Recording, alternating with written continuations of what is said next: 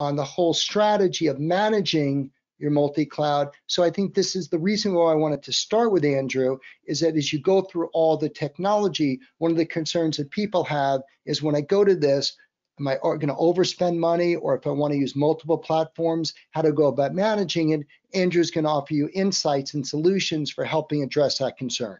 So all yours, Andrew. Awesome. Thank you so much, Ron. And uh, definitely appreciate the opportunity uh, to speak to um, the audience today. And um, you know, I, th I, think it's great that you gave me a chance here to just kind of talk a little bit about cloud health uh, before we kind of hand things over to to some of the major cloud providers themselves and some of these other vendors that are going to have some you know really awesome things to talk about in terms of hybrid cloud and multi-cloud management. Um, but you know, starting here with Cloud Health by VMware, you know what we are is we're the leader in multi-cloud management, really helping to you know increase business value really at every stage of your cloud journey. Um, we partner with some of the largest cloud consumers in the world, managing, as you can see, over 11 billion in cloud spend annually. Um, we support customers in all the leading public and hybrid cloud providers. Um, so as you can see across the bottom of the slide, you know, AWS, Azure, GCP, even now Oracle, and then uh, of course your your data center, your on-prem um, infrastructure as well. You know, through our VMware integration, you know, we, ha we have a lot of different ways to help drive um, that hybrid, hybrid cloud as well as the multi-cloud um, strategies. So VMware actually acquired Cloud Health in October of 2018.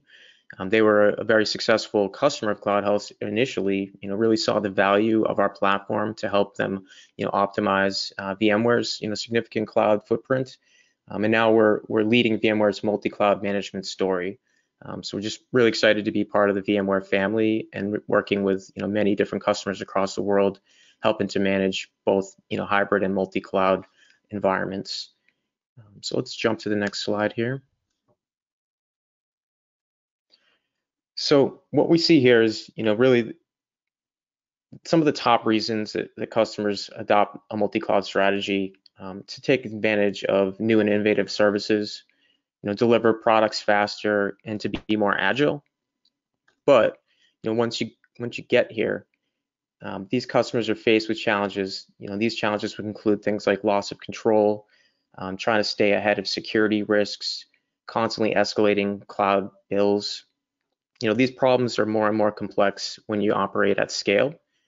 And uh, multiple teams start using different clouds, you know, deploying hundreds of workloads, cloud operations really becomes a big challenge, um, especially when you're faced with, you know, learning traditional tools, um, trying to piece together a very disparate environment um, and really create common communication across, you know, all the different business units that rely upon your cloud, your, you know, your multi-cloud slash hybrid cloud strategy to really be successful.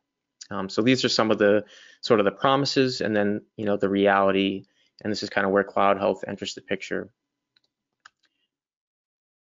So this this graphic here, and I'll kind of walk you through from kind of the bottom up, just to give you a bit of um, a background into you know some of the context of, of how Cloud Health is helping our customers. So what we do is essentially integrate into um, your different cloud environments as well as your, your on-prem environment. Um, and what we can do is ingest that information and the data through an integrated data layer. And this is inclusive of even your containerized environments and your on-prem environments. So really trying to provide not just a single pane of glass, which is sort of an overused kind of marketing term, but also a, a unified control plane, um, allowing you to optimize cost and performance, giving you visibility into you know what's driving our costs, how do we manage um, increasing costs, and make sure that we're staying in line with our budgets. Um, how do we build different policies and guardrails so that we can kind of manage by exception and be a bit more proactive in understanding as changes occur, you know, kind of getting on top of those, you know, whether they be cost spikes um, or whether it be maintaining um, well-provisioned environment, making sure that we're not wasting um, and that we're not, you know, overutilized. So there's a number of different ways that we can, you know, help drive operational governance, governance, and as well as, you know, help help with security and compliance as well. Um, what we'll be talking about a bit is what we call perspectives, and you can see that in the kind of the middle of this slide. Perspectives it's, it's a way that we normalize all of all of the data and help you create custom business groupings. Commonly, um, you know, organizations are leveraging tags as a way to try to help identify, you know, how different resources are bucketed and, you know, man, whether it be to, to manage costs by a line of business or, or department, or perhaps it's understanding, you know, which applications and which products are driving our costs, you know, understanding a cost of goods sold, for example, and really driving um, P&L analysis. All of these different tags across a disparate environment, including you know multiple different cloud providers, including your on-prem environment, it can be very challenging to to make sense of this large kind of complicated puzzle. So what Cloud Health Perspectives do is it, it you know leverages those existing tags, but it also provides deeper insight into the metadata of all of your resources and helps group things um, in a common way so that across a multi-cloud um, you know, uh, footprint, you're going to see what those costs are inclusive of each different environment and being able to analyze things like performance, being able to understand your usage trends um, and, be, and helping you to, you know, scale and grow effectively in the cloud while maintaining visibility and control throughout that process. Um, so let's move on. So next we're going to kind of break down a few different use cases. Um, so this slide here is just speaking to the ability to, to view all of your cloud and, and on-prem costs, you know, from a single a single dashboard. Um, so here we're showing, you know, AWS and Azure, but we're also breaking down multi-cloud costs here by line of business. Um, so it's just simple and easy visibility, um, providing you with that, that single pane view, and then giving you the granularity to really um, dig deeper into the data and understand why different changes are occurring, um, whether it be you know identifying a, a data transfer cost spike um, that may uh, occur due to an architectural change, being able to take action on that uh, on those insights quickly before you know a potential um, cost change really you know snowballs into into a larger problem. Um, so let's move to the next slide. So this is this slide here is speaking to the perspectives uh, concept and feature that we provide. And this graphic here is just showing a project perspective. So this is really showing your multi-cloud environment, including your on-prem, and kind of tallying and, and, and aggregating all of that cost and breaking it down by project in this case, giving you insight into, you know, which projects, which applications are driving the costs in an, in an all-inclusive um, kind of format. Um, now you may be wondering, you know, how do we really determine uh, data center costs? Everybody has, you know, their own unique infrastructure and their unique kind of expenses that go into that uh, calculation. So what we've done is we've worked very closely with VMware and provide a service called benchmark pricing. And it's based upon all of VMware's customer base. And it's really intended to provide you with, with a baseline of expenses broken down into these individual cost driver categories. And each of these categories can actually be customized. Um, and as you drill into each of these different um, uh, categories, what you can actually do is really define very specifically, you know, based upon the hardware you're leveraging, based upon your license modeling, maintenance and labor costs, even adding in your own kind of custom line items. Um, and what we'll do is we'll compare that against the industry benchmark. So this is a great way to kind of provide that visibility into what your data center costs really are. And it really helps to drive um, your planning and strategy as you maybe shift some of those workloads to the cloud or just begin to model out, you know, what the long-term strategy is and how to most effectively leverage both um, the public cloud and you know your private data centers.